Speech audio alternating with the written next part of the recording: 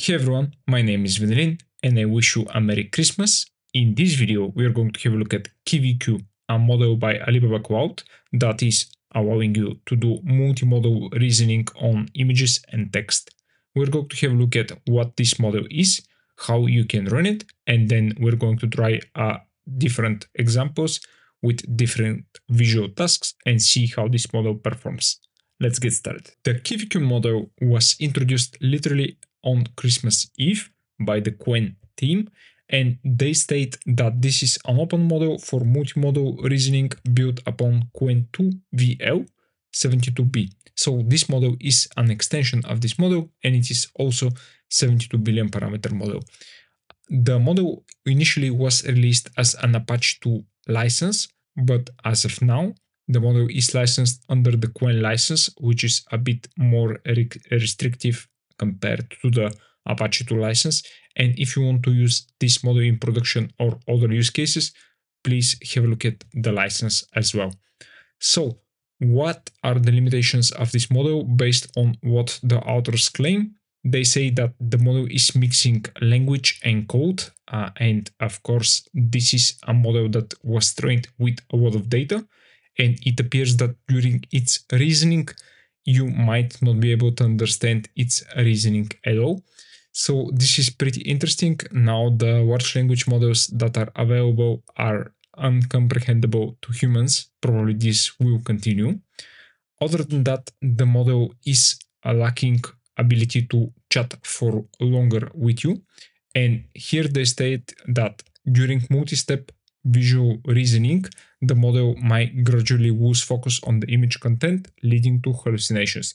So, in our tests that we're going to pass through, we're going to be just adding a single image and then asking a question, just a single question about this image. And here you can see the performance of this model compared to the previous models, Claude 3.5 Sonnet, GPT-4o, GPT-4o1. These are the scores, as you can see, on the different benchmarks. And it appears that the QVQ model is performing uh, roughly around Sonnet 3.5, sorry, Claude 3.5 level. The model is available under GGUF format and it is available for Bartovs from Bartowski on the Hugging Face uh, hub. And here you can see a complete example of how you can run this model with Llama CPP. This is the CLI version of it. And uh, this is using the extension for Qwen 2 VL, uh, which is, of course, currently supported by Llama CPP. And the model is quantized under different formats. You can see the quantization formats right here, along with the file size. Unfortunately, this model is quite large for me to try it out on my local machine. But if you are able to run this on your local setup, please let me know if this model performs as well as the demo that I'm going to show you. I took this image from a Reddit post and as you can see it contains a lot of objects and I'm going to ask the model to count the number of boots in this image and let me show you that we have six different boots. I'm going to show them to you and we're going to start with the response from the model. And the first thing that you see that this model does is to go through its reasoning and start the mod the counting row by row or column by column. At first it states that it has the image has four boots in total, then add up to five.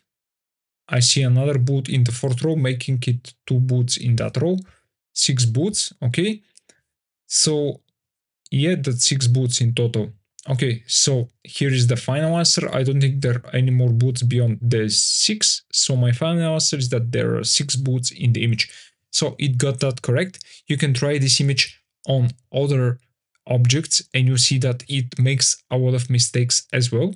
But in the boot count it appears to be working quite well in the next task, I'm going to ask for a bounding box for this motorcycle and I'm going to specify the format xmin, ymin, xmax and ymax. And from the start, you see that the model is trying to first understand the image properly, focusing on the motorcycle itself right here. and then he's starting to speak about the percentages. And here are the results 23%, 55%, 92%, 35%. So these appear to be all right. Here I have an image of a car and I'm asking for the model to extract the license plate number of the car. And uh, here it says that this is a Porsche Boxster GTS. So it appears that it got that correct. So the license plate according to the model is CB64G60. And if we go through the image, CB64G60, yeah, it appears that it got the correct license plate number. Next, I have an image of a car crash and based on this image, I'm asking the model to tell me which car is the cause of this crash. And you can see the two cars right here and the green white right here. Not really sure which one is correct since this might be a post crash event.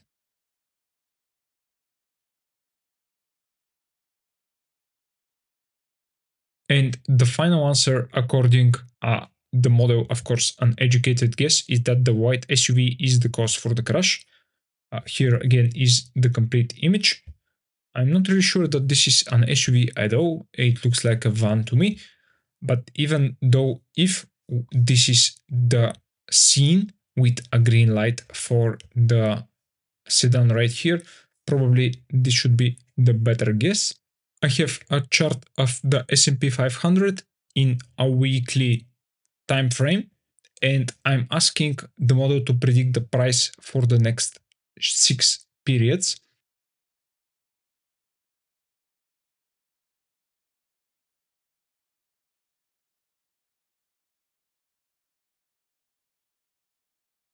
So the model did get correctly that this is a weekly time frame and it is for the S&P 500 from 2019 to 2025 and the uptrend uh, is predicted to continue based on the reasoning of this model.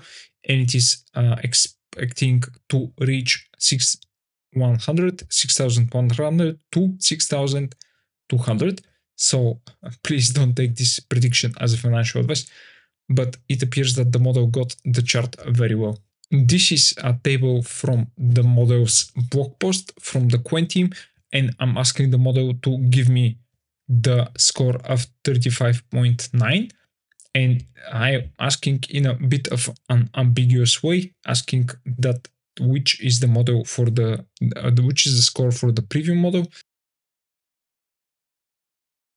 So this is the final answer, 35.9, which is exactly correct. It got uh, correct that I'm talking about the preview for the 72 billion parameter model. The final task for the model is to extract information from the Piggly Wiggly receipt that I got from the previous tests.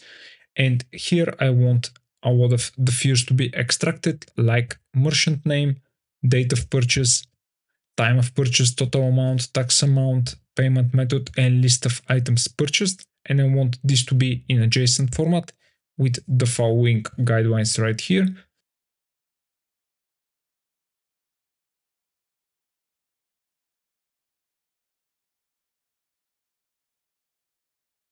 So this is the final response. We have the store Piggly Wiggly date which appears to be correct, total amount, tax amount, payment method, and the price for the two wine items.